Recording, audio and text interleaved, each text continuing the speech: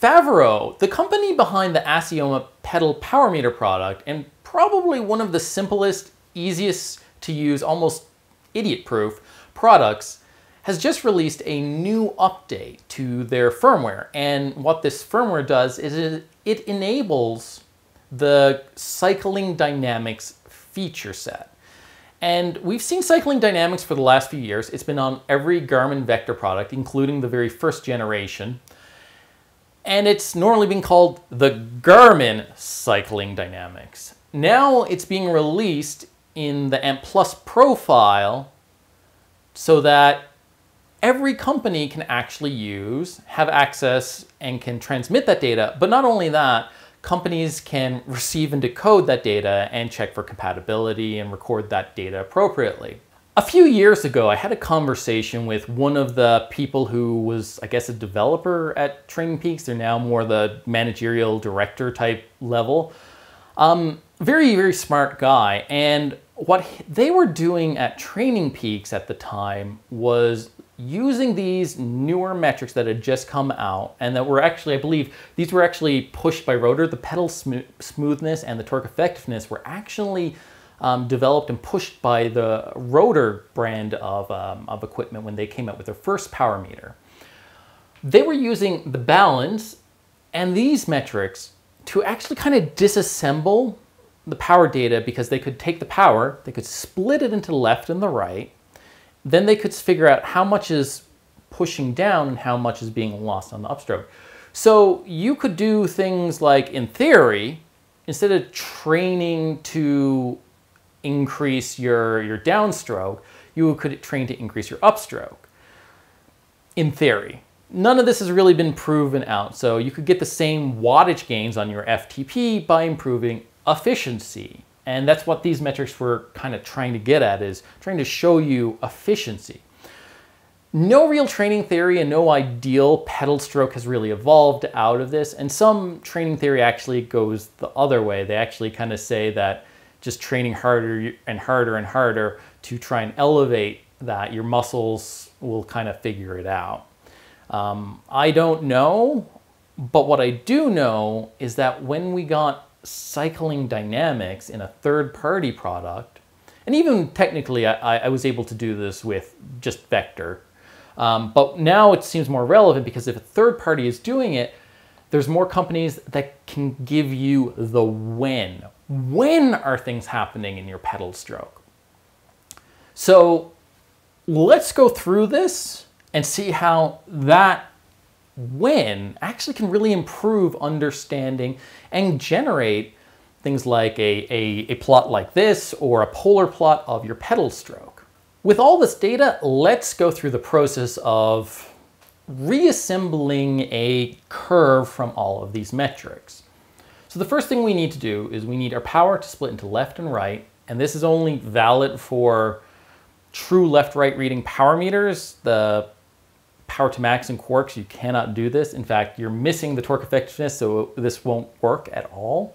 And they also can't do cycling dynamics. So they kind of fall down here. So we take our power, split it into our left and right, and we assume, or most people's curve looks something like this shape here in blue.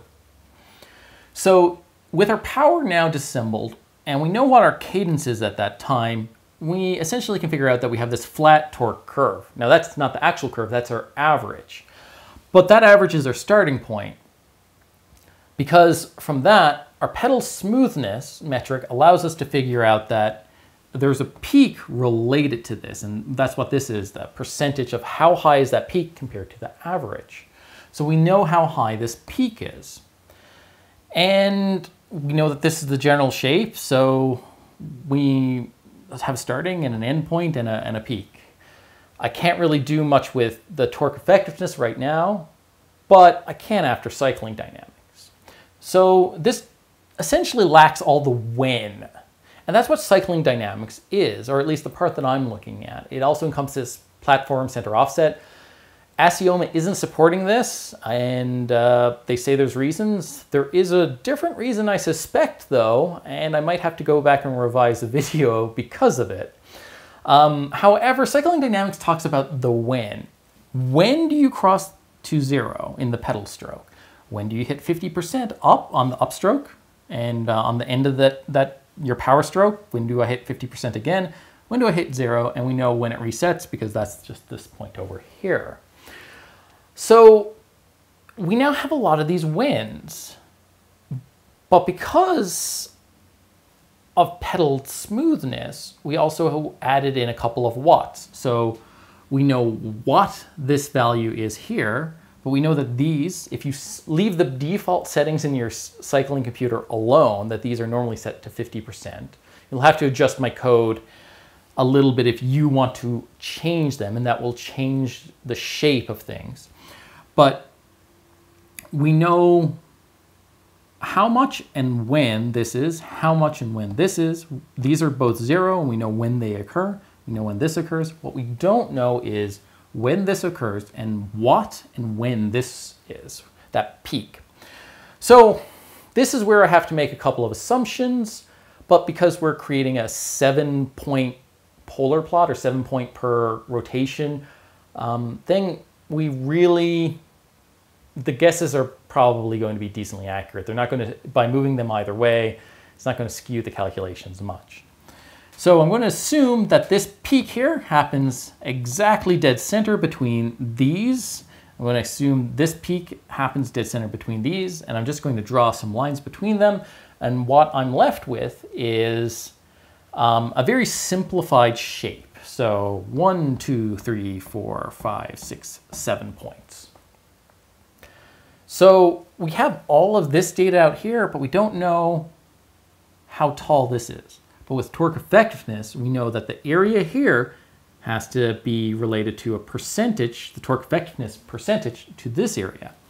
So we calculate this up as one, two, three, four triangles, one big rectangle, and then we know that percentage. So we say, ah, you know, it's 20%. And we use two triangles here to figure out where that peak is. And that fills in all the blanks to create a I'll call it medium speed data. But the really cool thing is that now that this is finally a standard that most developers have access to, it means that there's no reason why most power meter companies can't come along and within a few weeks update their hardware to include this. Um, companies that are only producing left side data and doubling it, you can sort of back this out, but only for your left leg. Um, it should actually work pretty well, but again, only left leg. And as you can see from um, the videos on screen for the polar plots, left and right leg shapes don't match up a lot of the time. And this is where a lot of that left-right balance variance comes in, that on average you might be 50%. But there's so many factors that I'm not a big proponent of left-only power meters. So yeah, feel free to get the code in the GitHub. Uh, going to need Python and a few libraries to get it running. But yeah, I actually have an animation command in it so you can just export it as an animation. It'll take a little bit to run. Um, I've got an eight core uh, desktop that's, you know, 16 threads and stupidness going on. And it, it takes a few minutes to plot out an hour long ride.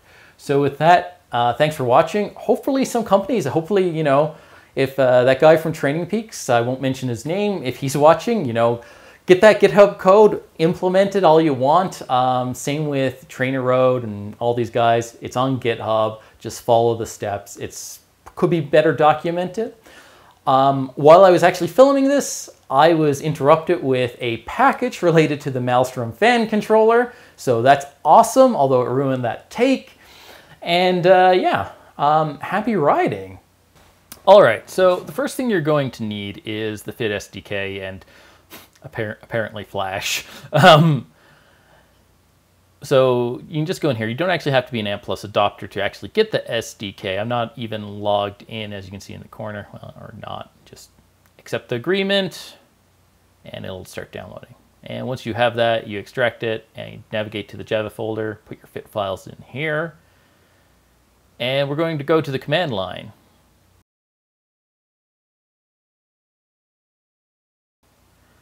There's a few different batch files in here, but the one we want is actually the fit to CSV dot dash data.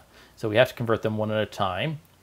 Um, and I'll show you what that data does that's different than the regular fit to CSV. I just convert that other file.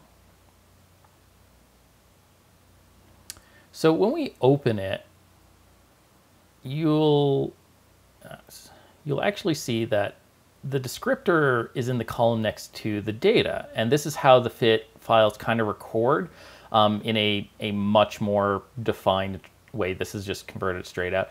But that means that, you know, if, if one data element is missing, such as, you know, what's happened here, you get this skew and not everything is in the correct field. So it creates a data version of it, which is nice, but it sometimes skips timestamps or duplicates timestamps. And for the cycling dynamics, we've got multiple pieces of data stored in the one field. So I have to sort that out as well. So those duplicates we'll sort out first um, with these data files. So copy those into the folder that you cloned from the GitHub. We're going to use this fit CSV file clean. And what it does is it reads it in, it drops duplicates, re-indexes it, and that index is in that timestamp slot. And then it interpolates through it, and then it dumps it out to a CSV file with underscore clean. But I only wrote this to do one file at a time. Um, so let's just temporarily rename one of these files so that we can convert that um, 14th file, August 14th of last year, or July 14th. And then we'll rename um, that file, the we just convert it, rename that other one. So this is just how to deal with if you're you want to do multiple files with that cleaning stuff. So you will need to do that. If not, it can generate some bogusness. And we convert that. And you can see how you, the dates that it converted are different. They're just based on the file endings. So once you have that all done, we can go over into the cycling dynamics and we're going to read in one of the files that in the square brackets, that's which file in the folder, extract some basic stuff uh, from the data frame into just lists. And then we have to start extracting stuff from the cycling dynamics. So we have to use text split and convert it to floats and do that for every single one. And then we get into some basic calculations for timing. Um, so I calculated some the rev time from the cadence and then over 360 and uh, some output logs. This has to do with just dealing with the timing. So uh, if you want to do it in time plot versus uh, degree plot, you kind of need to sort that out, which, you know, because your, your power phase start can be below 360 or the zero. Um, this here is that calculation with the torque effectiveness. So all the little triangles and rectangles and then calculating it to be equivalent to those. And uh, oh, I've got some debug stuff left over here.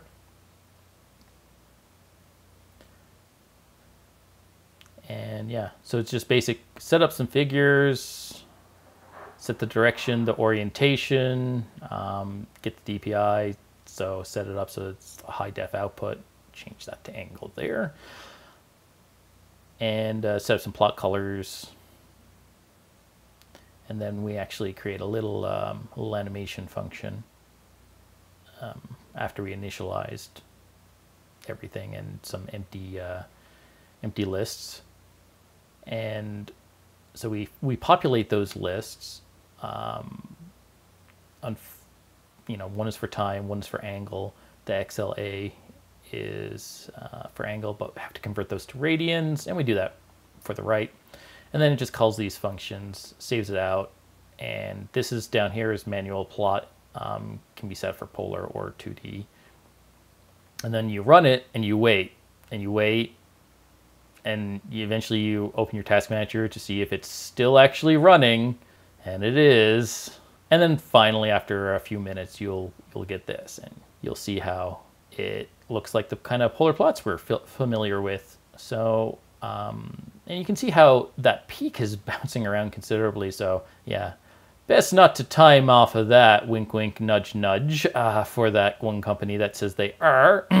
but yeah, this is kind of what you could see the difference in the left and the right. I believe my left is in blue, my right is in red, and it just outputs a file. It'll actually play a little bit faster in that file. You can set it by changing the frames per second in the command. And this, this here is all is the zero point, so anything below that is actually negative, but it's a little hard to see.